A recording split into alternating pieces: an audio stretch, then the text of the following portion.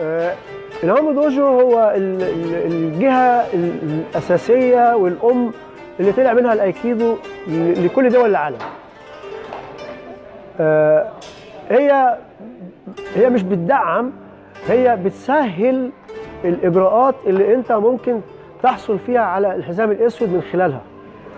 هي بتقول لك عندك الجدول امتحن كذا وعندك ده امتحانه السودان اللي هو الأسود الواحد المفروض يكون حاضر عندك قد كده وبتدينا البيانات اللائحه بتاعتهم بتبعتها لنا. بعد التفويض بعتوا لنا كل الكلام دوت.